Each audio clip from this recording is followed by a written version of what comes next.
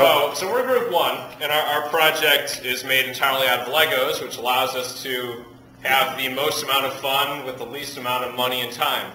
So um, our, our project essentially, it, it's a clock, and it displays a second hand and a minute hand, um, where the minute hand lasts for 52 seconds, because that's how many teeth were on this gear. So um, the different, di- different machine elements include, um, we've got a bunch of gears, six different gears, sets of gears rather. Um, we've got a shaft. Um, we've got a journal bearing, since Lego's assembled that way. Um, we've got a spring and a clutch. And, um, yeah, a belt. Alrighty, so the device gets the power from the drive shaft right down there, and we got a set of gears so that turns. Then we go to the main drive gear. So you see a big long chain, and then as the chain turns, it will grab a golf ball from the little carrier, lift it up to the top. Golf ball fall down through the chute, hit the lever, and then underneath will be a calculator which will set up and it'll hit the. You got a little plunger, it'll hit the enter key, so it will effectively count the number of cycles, the ti- or the times that the ball goes through. So the actual elements, we got a spring right over here under the lever. We've got bearings because there's obviously shafts, so they're turning in the connects pieces. We've got gears, we've got obviously a shaft, and then the chain. So there's five elements total. It just keeps like Okay, thanks. All right, our design uh, involves this ball ringing this bell every uh, couple of cycles. Starts here with uh, the belt that turns on this little wheel here, on the, turns this shaft, which turns the smaller gear, which turns the bigger gear, which is connected to these two rubber band belts, which transfers the uh, rotation to this arm here, which isn't fixed. It actually rotates on the shaft. But every time this uh, little arm comes around, it pushes pushes the the arm around, transfers the uh, motion to the string, which to the ball, which is connected by rubber bands. So we have a shaft, the bearings for all these shafts, the gear, belt, um, and the spring. And maybe if you can consider this a clutch. Okay, this is a team number four, uh, Rube Goldberg machine. We have a little gearbox in the back here. You can turn that around, by the way. Yeah, we have a gearbox in the back here um, that's powering the Christmas tree to spin around, and then it's powering a crank on the other side right in here, which is moving Santa's arm. And then Santa's arm is attached to the box, and the bot lifts up the box, and then there's um, a, a snow guy on the inside. a little snowman that lights up on the inside. And so what are your required elements? Um, so we have we have screw gear, we have a shaft, we have two belts, um, we have gears, um, we have a crank, and um, missing anything This is a Team 5 Rube Goldberg machine. It takes the pulley off the shaft into this pulley right here. Um, this shaft right here has actually nylon bearings on it. Um, from this shaft we have a sprocket and chain setup which goes up to our main shaft which controls a device that hits the ball up an incline. The ball, when it returns, is stopped by the spring. The shock is absorbed there. Um, there's some other kind of unnecessary features. We have a clutch up here because we couldn't get these gears to mesh purpose, uh, perfectly, so this is all friction right here, which comes up around to this gear, which doesn't have teeth on it all the way, and this little piece right here kind of acts as a brake as it rubs against the top part of the gear. It worked better on our low torque tex- uh, test motor as opposed to the super high torque.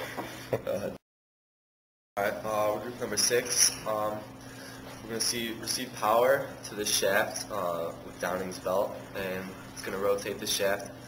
And the shaft's going to be held in place by two roller bearings, and then the power is transferred by two belts to upper shaft here, which spins this, and then we have a clutch holding the um, circle, holding the paintbrush to the shaft. So it's going to paint uh, paint onto the sheet. Um, the uh, power from Downing shaft goes to the belt, which turns this uh, shaft, um, which has a bearing, like a special brass bearing that cost me money over there, um, which turns this these belts, um, which turns this chain that uh, lifts up the ball, goes down the ramps, hits this thing with a spring uh, that pushes it down this thing. Uh, this shaft has um, cam lobes on it, which move the Lego guys up and down to propel it past there. Goes down this ramp and hits this uh, back plate, which attaches to a gear, which turns another gear, which hits a little arm that hits the equal sign of this calculator, um, an original unique idea that counts uh, how many cycles it goes, and bounces down, bounce, rolls down, and back to get loaded up on the chain again.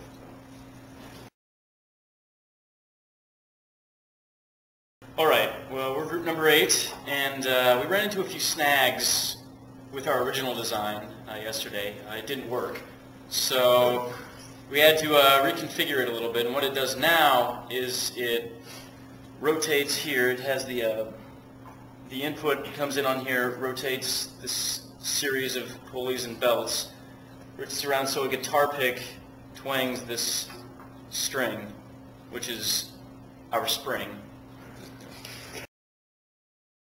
Alright, so obviously we take um, Downing's shaft and with uh, his pulley system, turn a, a rod which turns another uh, set of a chain and pulley system which turns a worm gear which turns this uh, spur gear. So then goes through uh, this shaft. This is a clutch here. Uh, we have two shafts that sort of meet up and have two um, uh, Lego pieces that interlock uh, to make a gear, which then goes to uh, through another shaft to a camshaft, which then turns this rod, which will continuously pull this trigger on the gun and make a lot of noise and hopefully annoy people. All right, so um, we decided we were going to make a uh, contraption for the lazy fisherman. So what we do here is um, we take the input um, from the machine uh, to this uh, pulley here. There's a shaft connecting this pulley to another pulley. There's a belt running around here to these spools. They wind up pulling this rod back, and it snaps together, tossing the rod.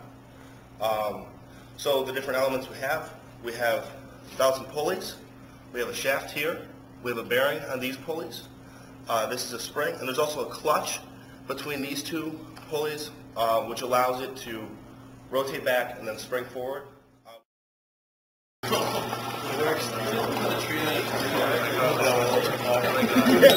The are still out, out of balance.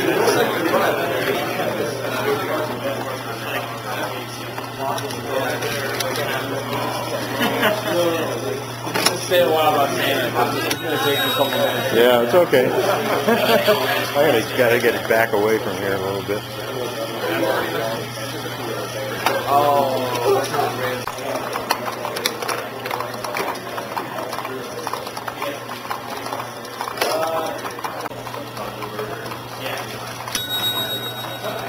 fun I've had in a while.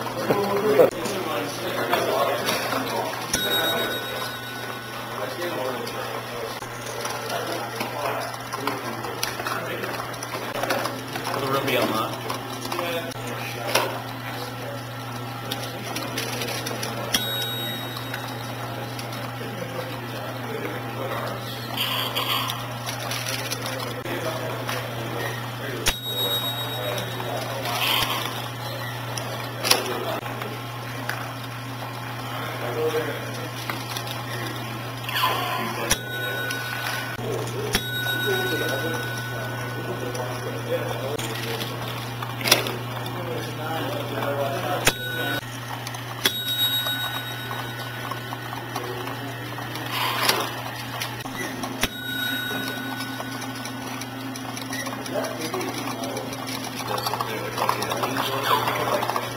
Getting the wood is not